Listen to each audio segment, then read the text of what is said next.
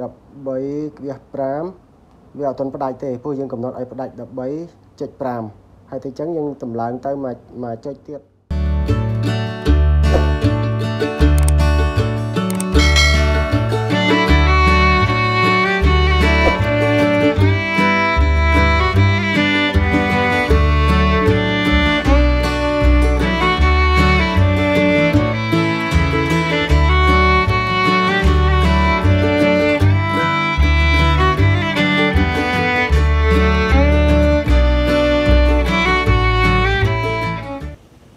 បាទជំរាបសួរជំរាបសួរបងប្អូនជំរាបសួរហ្នឹងហើយ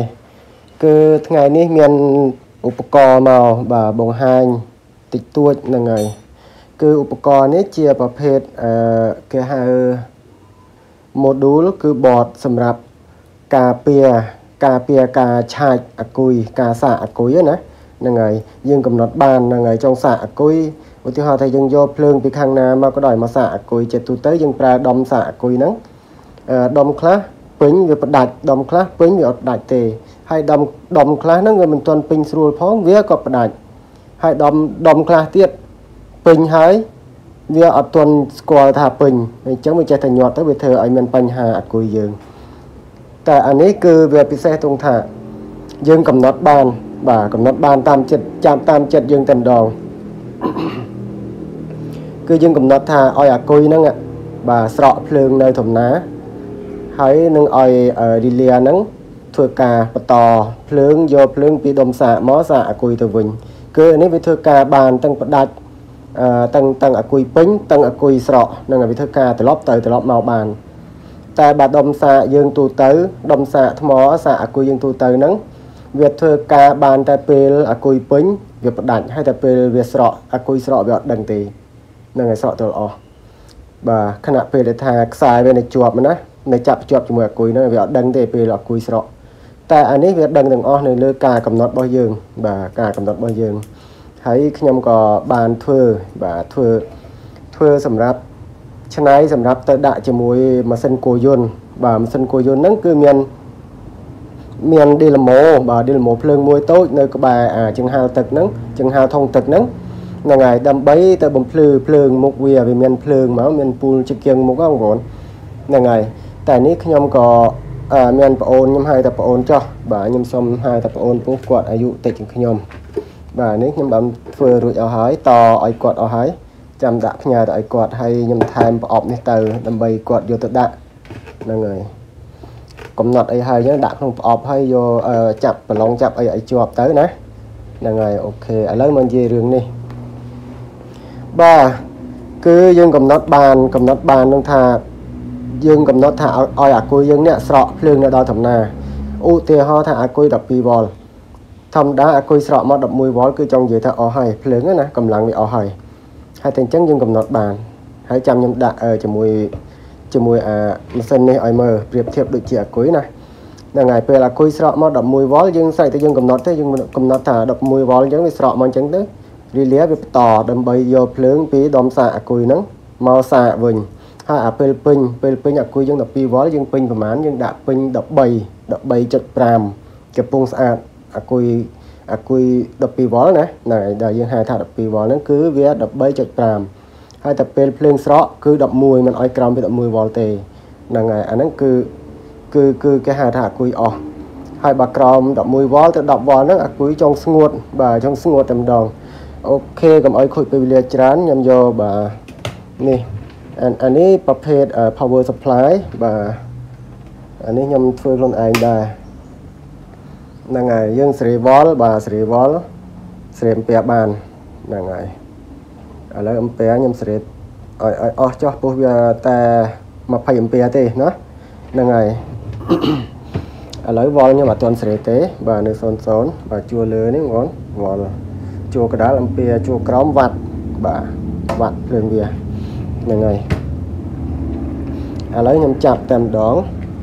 ហ្នឹងហើយយើងប្រៀបធៀបថាអានេះគឺជាអាគុយចោះវាស្រួលពួកអាគុយយើងពេលយើងចាប់ជាមួយអាគុយហ្មងយើងចាំយូរ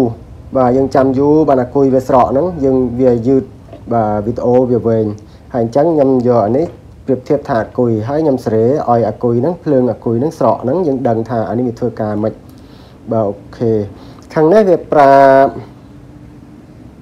បាទវាប្រាប់ថា BAT ហ្នឹងគឺ battery បាទអានេះវាប្រាប់ថា in ហ្នឹងចូលហ្នឹងគឺភ្លើងមកពីខាងណាក៏ដោយបាទបើថាយើងឆាច12វ៉ុលយើងរកភ្លើងយើងយកភ្លើង15វ៉ុល16វ៉ុលមកចូលមកណាបាទណាចំពោះភ្លើងភ្លើងឆ្អិនចង់និយាយទៅភ្លើង DC ណាហើយហើយបើ AC បាទមួយទៀតបើ AC យើងត្រូវឆ្លងកាត់យ៉ូត AC ឆ្លងកាត់យ៉ូតខ្ញុំនិយាយរឿងនេះបន្តិចសិនហើយចាំខ្ញុំមកធ្វើអានេះឲ្យមើល បាទអានេះខ្ញុំធ្វើឲ្យឲ្យបងអូនគាត់កំងហ្នឹងគាត់ត្រូវការដាក់ម៉ាស៊ីនម៉ាស៊ីនគោយន្តគាត់ហ្នឹងទៅសាអាគុយដើម្បីដូចថាទៅស្រែទៅអីចឹងទៅមានភ្លើងនៅក្នុងអាគុយឬមួយក៏ចង់ដេកនៅស្រែអីហ្នឹងមានភ្លើងហ្នឹងទៅចាប់អំពូលនៅកតោមស្រែហ្នឹងតែម្ដងបាទហើយនេះជាបាទជា Delmo បាទចាស់បន្តិចហ្នឹងហើយតែវាប្រើបាន Delmo របស់គោយន្តនឹងឯងបងប្អូនហ្នឹងហើយវាចេញភ្លើងមក ស្រេចតែជុំរបស់វាទេវាចេញមកដល់15វ៉ុលក៏ស្រេចតែវាតែអំពីវាគ្រាន់ដែរណាយើងសាកអគុយបាន គឺតែវាចេញមកជាប្រភេទភ្លើង AC ទេហ្នឹងហើយហើយតែ AC យើងយកមកចូលអគុយអត់បានទេណាវាកង់គ្នាពោះវាអត់មានបោកដកបាទក្បាលអគុយវាមានបោកដកអញ្ចឹងយើងយកយោតនេះបាទយោតនេះវាវាវាវាคลายភ្លើងឲ្យយើងឬថាវាឆ្នៃភ្លើងឲ្យយើងចេញមកមានបោកដក បាទអាខ្សែពីឌីលម៉ូមកគឺយើងចូលជើងពីកដាលនេះទឹកអាឡូកហ្នឹងគឺប្រភេទអឺអឺជាសញ្ញាមួយប្រាប់ថាភ្លើង AC ហ្នឹងហើយនេះទឹកអាឡូកហ្នឹងណាភ្លើង AC ហើយតែវាចូលភ្លើង AC ទៅ ខាងណាក៏បានដែរ AC វាអត់មានបូកដកហ្នឹងហើយចូលទៅវាក៏ទៅប្រែខាងក្នុងហ្នឹងចេញមកខាងនេះដកខាងនេះបូកបាទអញ្ចឹងខ្ញុំមើលស្អីឃើញអឺអូខេហ្នឹងហើយ ហើយចេញមកយើងមកចូលបាទឃើញដែរខ្ញុំធ្វើនេះហ្នឹងហើយអាខ្សែលឿងនេះមកពីមកពី Dynamo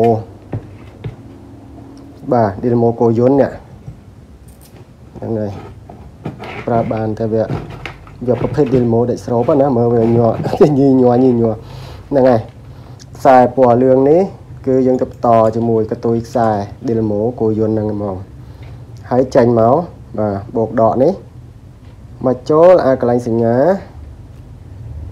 សញ្ញា in បាទសញ្ញា in ហ្នឹងគឺឲ្យមើលមិញហ្នឹងបាទ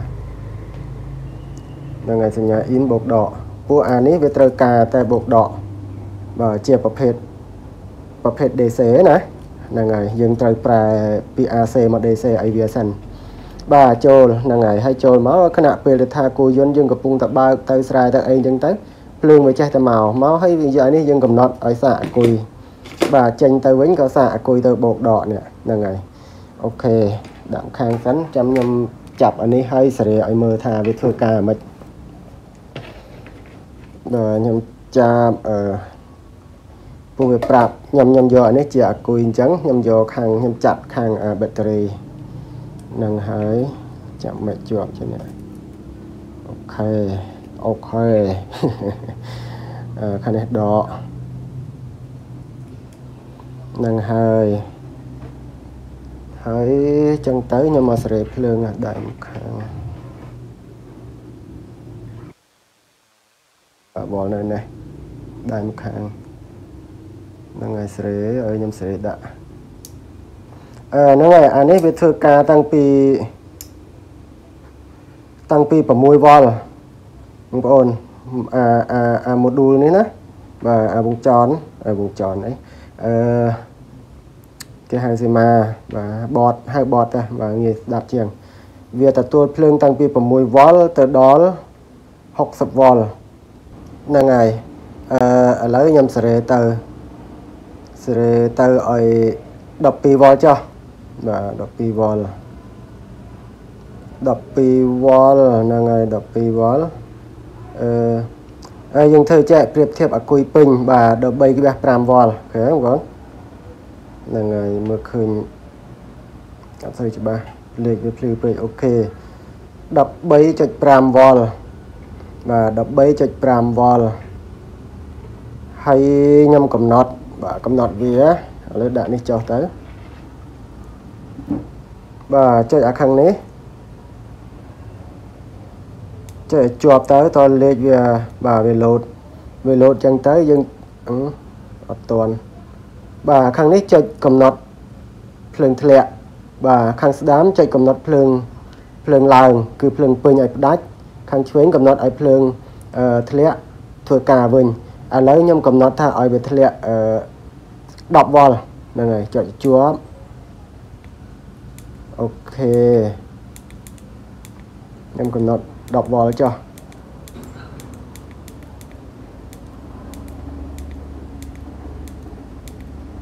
10ហើយប្រឡែងដៃទៅវាចូលបាទចូលប្រូក្រាមហើយអានេះភ្លើងអឺភ្លើងភ្លើងឥឡូវហ្នឹងបាទភ្លើងអាគុយយើងបច្ចុប្បន្នហ្នឹងបាទនេះហើយនេះភ្លើងនេះវាវាយើងកំណត់អញ្ចឹង វាវាអត់ទាន់ដឹងទេយើងយើងត្រូវកំណត់វាសិននេះវាបន្តឲ្យបញ្ចូលបាទបញ្ចូលភ្លើងហើយហើយតែអញ្ចឹងខ្ញុំដាក់13.5ណា13.5ឲ្យឲ្យឲ្យឲ្យឲ្យពេញ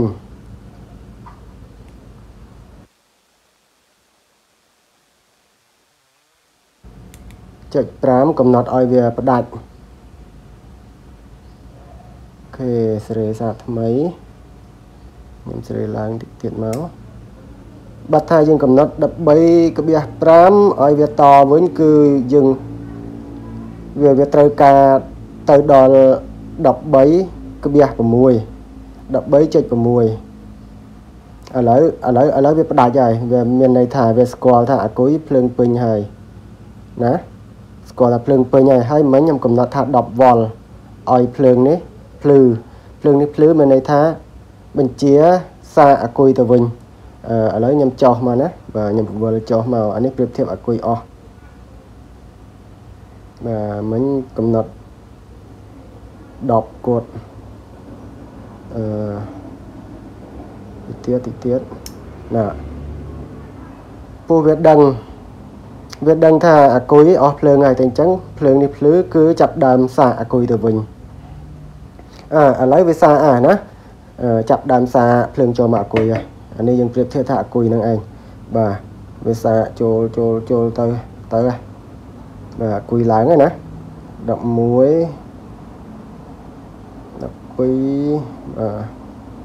បាទ13.5វាអត់ទាន់ផ្ដាច់ទេព្រោះយើងកំណត់ឲ្យផ្ដាច់13.5ហើយតែអញ្ចឹងយើងតម្លើងទៅមកមកចុចទៀតណ៎ឲ្យតែលើ 10 13.5ហ្នឹងគឺវាផ្ដាច់វិញហើយវាដឹងថាអាគុយយើងពេញហើយបាទវាងាយបាទវាងាយអញ្ចឹងគឺយើងកំណត់បានតាមចិត្តហើយជាពិសេសទៅសាកថ្មពួកប្រភេទថ្មលីស្យូមបងប្អូន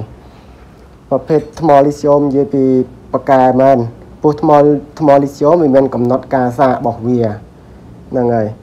ថ្មលីធ្យមហ្នឹងវាកំណត់មានកំណត់ការការសាករបស់វា គឺស្រកបណ្ណាត្រូវសាកភ្លើង